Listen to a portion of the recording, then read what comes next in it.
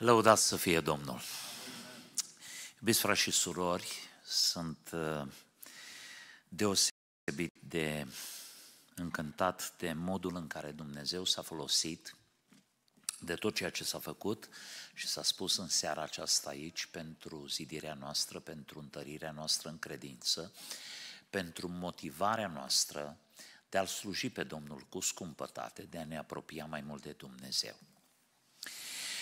Pentru că am uh, ascultat cântări uh, potrivite cu sărbătoarea nașterii Domnului, cântări potrivite cu lucrarea pe care Dumnezeu o face în biserică, în viața credincioșilor. Am ascultat cuvinte despre unitatea noastră, despre ceea ce trebuie să fie biserica, despre modul în care trebuie să umblăm în viața aceasta. Și pentru că toate aceste mesaje, atât în cuvânt cât și în cântare, s-au concentrat în jurul persoanei Domnului Isus Hristos, care este centrul tuturor lucrurilor, prin care se realizează toate aceste lucruri. Aș vrea să vorbesc în scurt despre trupul Domnului Isus Hristos. Atât având în vedere sărbătorile care se apropie, cât și faptul că numai ce am sărbătorit cina Domnului. În uh, Evrei, în capitolul 10, uh, de la versetul 19, cuvântul Domnului spune Astfel, dar, fraților, fiindcă prin sângele lui Isus avem o intrare slobodă în locul preasfânt, pe calea cea nouă și vie pe care ne deschis-o El prin perdeaua dinăuntru, adică trupul Său, și fiindcă avem un mare preot pus peste casa lui Dumnezeu, să ne apropiem cu o inimă curată, cu credință deplină, cu inimile stropite și curățate de un cuget rău și cu trupul spălat cu o apă curată. Să ținem fără șovăire la mărturisirea nădejdii noastre, căci credincios este Cel ce a făcut făgăduința. Trei lucruri unice cu privire la trupul Domnului Isus Hristos trei lucruri prin care nu numai că trupul Domnului Iisus Hristos este unic, dar noi, copiii lui Dumnezeu, suntem făcuți părtași acelorași experiențe prin trupul Domnului Iisus Hristos. Se apropie sărbătoarea nașterii Domnului și folosim foarte mult cuvântul întrupare.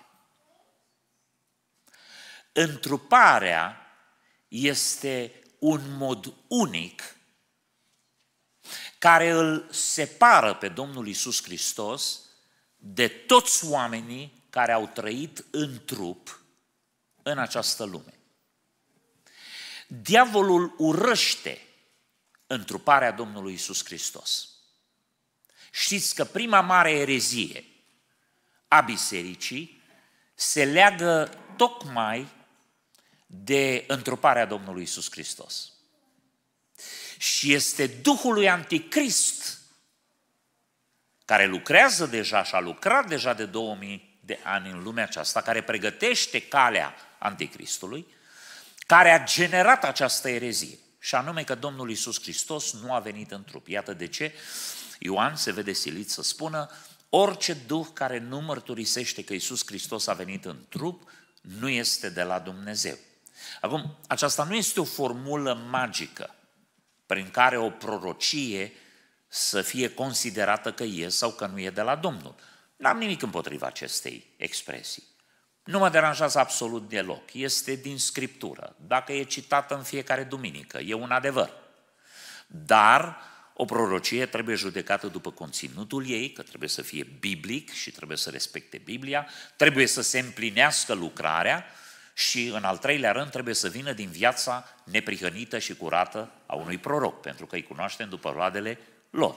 Faptul că cineva spune Iisus Hristos este Domnul și a venit în trup e un lucru bun, e o afirmație bună, dar nu este un litmus test, nu este o dovadă că prorocia ar fi sau n-ar fi adevărată. Însă, credința că Iisus Hristos a venit în trup este o dovadă a unei doctrine curate. Nu există posibilitatea să vorbim despre viața Domnului Isus Hristos aici pe pământ fără să vorbim de un trup real, uh, profetic. În vechime deja se anticipase lucrul acesta atunci când spune mi-ai pregătit un trup. Care este motivul acestei teologii false? Că Isus Hristos n-a venit în trup.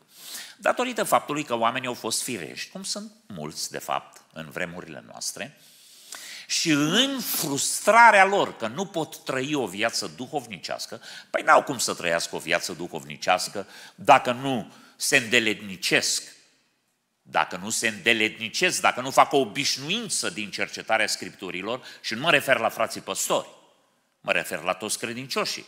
Dacă nu fac o îndeletnicire din practicarea rugăciunii, n-au cum să aibă succes în viața de credință. Dar oamenii aceștia vor și ei cumva o justificare vor și ei să facă parte din Biserica Domnului, vor și ei să fugă de mânia viitoare. Și atunci găsesc următoarea uh, scuză. Nimeni, de fapt, nu poate trăi viața de sfințenie și, în adevăr, uh, în trupul acesta de carne. Suntem toți vulnerabili, suntem ispitiți, cădem, uh, ne potignim, uh, ne împiedicăm, uh, trăim de multe ori o viață de faliment spiritual pentru că în trupul ăsta nu se poate. Și atunci când cineva îl arată pe Domnul Isus Hristos cu degetul, ei spun, a, carnea și sângele nu moștenesc împărăția lui Dumnezeu. Isus, de fapt, a fost Dumnezeu. De aceea îl veți vedea pe Domnul Isus Hristos că în mod repetat nu fuge de identitatea de fiu al omului. Pentru că își proclamă existența în trup. În trup. Iată de ce numim venirea Lui pe pământ și sărbătorim în câteva săptămâni întruparea Domnului Isus Hristos, care este un act unic în istorie. Toți oamenii care au apărut în istorie au apărut prin creație, Adam și Eva, făcuți de mâna lui Dumnezeu, Adam din țărâna pământului, Eva din coasta lui Adam. Prin procreație, toți oamenii care s-au născut din femeie, ei, când vorbim de Domnul Isus Hristos, nu vorbim nici de creație, nici de procreație, pentru că El purcede de la Duhul Sfânt, ci vorbim de întrupare, singura ființă preexistentă înainte de Avram, înainte de Adam, este Domnul Isus Hristos. Noi nu suntem preexistenți. Noi nu suntem luați ca niște halate dintr-o cămară uh, de suflete pe care Dumnezeu le trimite pe pământ. Nu. Biblia spune în Genesa că prin intersecția între material și spiritual, Duhul de viață de la Dumnezeu, s-a făcut, a luat ființă un suflet viu. Cu alte cuvinte, la creație, când Dumnezeu a unit suflarea de viață și trupul modelat din țărână de mâna lui Dumnezeu, s-a făcut un suflet viu, atunci a apărut. Noi suntem veșnici în viitorul nostru. Noi nu suntem veșnici în trecutul nostru, pentru că niciunul dintre noi nu este Dumnezeu. Am apărut undeva pe traiectoria istoriei și vom continua în eternitate. Însă Domnul Isus Hristos este din veșnicie în veșnicie este alfa și omega, începutul și sfârșitul. El este singurul preexistent care a luat un trup ca al nostru ca să vină și să trăiască în lumea aceasta. Iată de ce întruparea Domnului Isus Hristos este unică. Ei, care este relevanța, valoarea întrupării sale? Este că prin trupul acesta care reprezenta vălul, reprezenta perdeaua care ne separa pe noi de Dumnezeu, când trupul acesta de carne pe care l-a adus Domnul Isus Hristos, l-a luat Domnul Isus Hristos, s-a rupt, s-a frânt la cruce, a deschis calea nouă și vie pe care noi să pășim în prezența lui Dumnezeu. Dragii mei, în modelul Domnului Isus Hristos și noi suntem chemați Așa după cum El a adus trupul Lui ca jertfă și noi să aducem trupurile noastre ca o jertfă vie, sfântă, plăcută înaintea lui Dumnezeu, aceasta va fi din partea noastră o slujbă duhovnicească. Când noi nu aducem trupurile noastre pe altarul lui Dumnezeu, ce înseamnă să pui trupul tău la dispoziția lui Dumnezeu? Să pui mădularele tale în slujba lui Dumnezeu.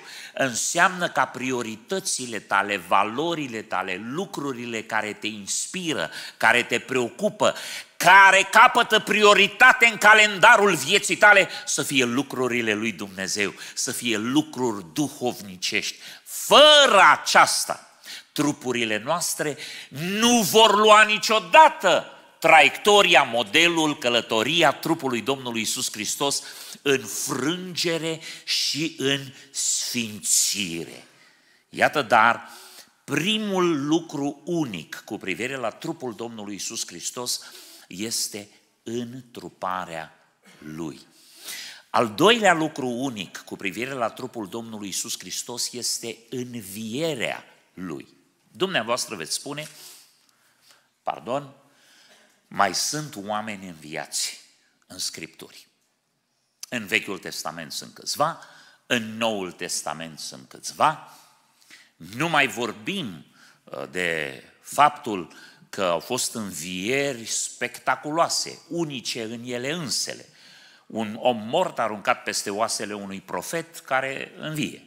Uh, învierea lui Lazar a generat haos în Ierusalim, în stăpânitorii vremii de atunci, pentru că divinitatea Domnului Isus Hristos a fost incontestabilă prin acest act al învierii lui Lazar, până acolo că au vrut să-l omoare și pe Domnul și pe Lazar. De ce însă, toți vrem înviere, de ce eu nu vreau învierea lui Lazar? Pentru că învierea lui Lazar nu este învierea Domnului Isus. Nici o înviere din Biblie nu se compară cu învierea Domnului Isus Hristos. Lazar a înviat și a mai murit odată. Fiul văduvei din Nain a înviat și a mai murit odată. Tabita a înviat și a mai murit odată. Toți care au înviat, au înviat și au mai murit odată.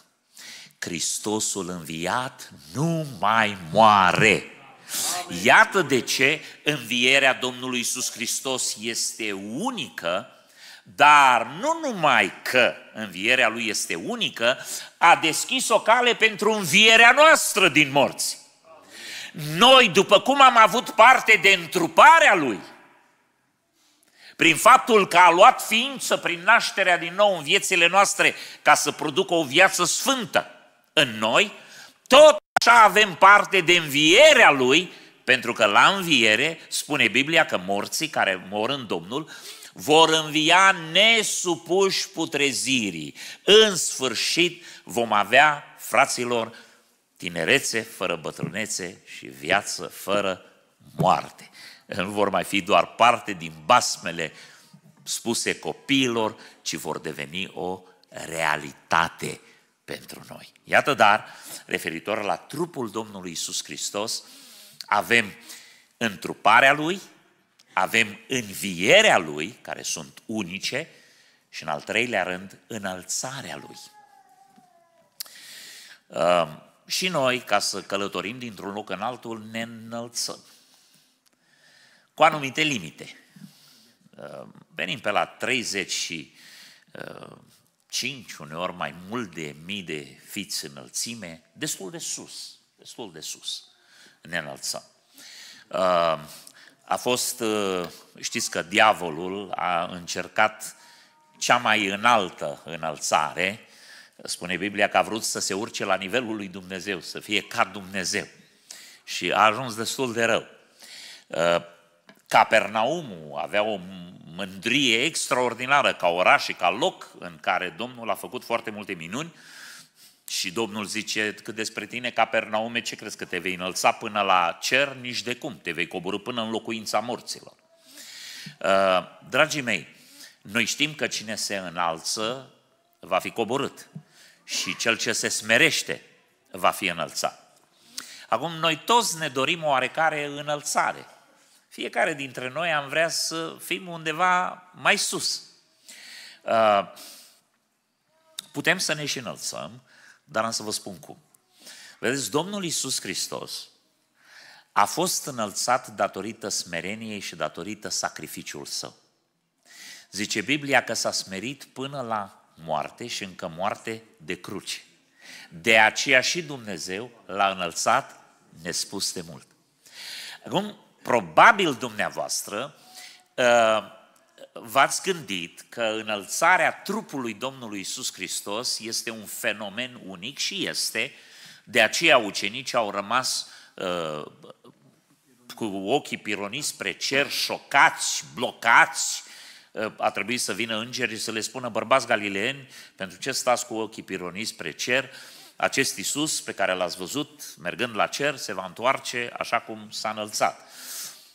Dar, înălțarea Domnului Isus Hristos, din punctul de vedere al trupului înviat și transformat în slavă, este un model al înălțării noastre, pentru că și noi vom avea într-o zi parte nu numai de înviere, ci de înălțare, de răpire, de înălțare la cer și de acolo până în prezența lui Dumnezeu, unde Domnul Isus Hristos își va duce biserica, să o prezinte slăvită, fără pată, fără zburcitură sau altceva de felul acesta. Însă, după cum drumul întrupării trebuie să treacă pe la sacrificiu, trebuie să treacă pe la frângerea trupului, pe altarul lui Dumnezeu, după modelul Domnului Isus Hristos. Pentru că fiecare dintre noi trebuie să experimentăm în trupul acesta răstignirea firii pământești pentru ca să avem parte de un trup în care să locuiască neprihănirea. Nu se poate fără omorârea mădularelor care sunt pe pământ. După cum învierea noastră înseamnă mai întâi moartea față de păcat și față de lume, tot așa înălțarea în trupul de slavă pe care ne-l va da Dumnezeu la înviere și care va fi o realitate pentru trupurile noastre, după cum a fost o realitate pentru trupul Domnului Isus Hristos, se realizează după modelul caracterului său, care a însemnat smerire, coborâre. Vedeți, Domnul Isus Hristos, inclusiv în Duh, s-a coborât până în locuința morților, cu un plan și cu un mesaj bine determinat de Dumnezeu, dar din locurile cele mai de jos s-a ridicat în locurile cele mai de sus, în antiteză cu diavolul, care în mândrie a încercat să urce în locurile cele mai de sus și în cele din urmă va ajunge în locurile cele mai de jos. Modelul înălțării noastre este modelul smereniei Domnului Isus Hristos. Iată dar, Vorbim despre trupul Domnului Isus Hristos, pe care îl sărbătorim la nașterea Domnului, la întruparea Domnului, pe care îl sărbătorim de Paști la crucificarea și învierea Lui și pe care îl anticipăm. Atunci când trupul de pe pământ, care este biserica Lui, se va ridica să fie întotdeauna cu Domnul în slavă. Suntem chemați astăzi, mai întâi de toate, să punem trupurile noastre la dispoziția lui Dumnezeu. Să facă El ce vrea în noi și cu noi. Să decidă El în locul nostru. Să umple trupurile noastre de Duhul Sfânt ca să devină temple ale lui Dumnezeu. Apoi, să lăsăm viața lui Dumnezeu să ia ființă în noi, pentru că suflete vii, numai acestea vor avea parte de trupuri nemuritoare. Uh, suntem suflete moarte în trupuri muritoare. Când îl primim pe Domnul Isus Hristos, devenim suflete vii în trupuri tot muritoare. Așteptăm ziua în care vom deveni suflete vii în trupuri nemuritoare, atunci când vom avea parte de învierea Domnului Isus Hristos și când vom avea parte de învierea Lui. Dacă ne-am smerit, Dacă ne-am văzut mici, nevrednici, neînsemnați, și l-am văzut pe el mare, l-am văzut pe el totul, într-o zi vom avea parte de o înălțare extraordinară. Atât de sus încât vom împărăți împreună cu El în slavă. Și pentru aceasta zicem, lăudat să fie Domnul, vă dorim sărbători binecuvântate. O sărbătoare a nașterii Domnului binecuvântată, o sărbătoare a anului nou binecuvântată, un an nou fericit și binecuvântat, har, pace și binecuvântare peste dumneavoastră și familiile dumneavoastră și peste Biserica Grace. Amin. Amin.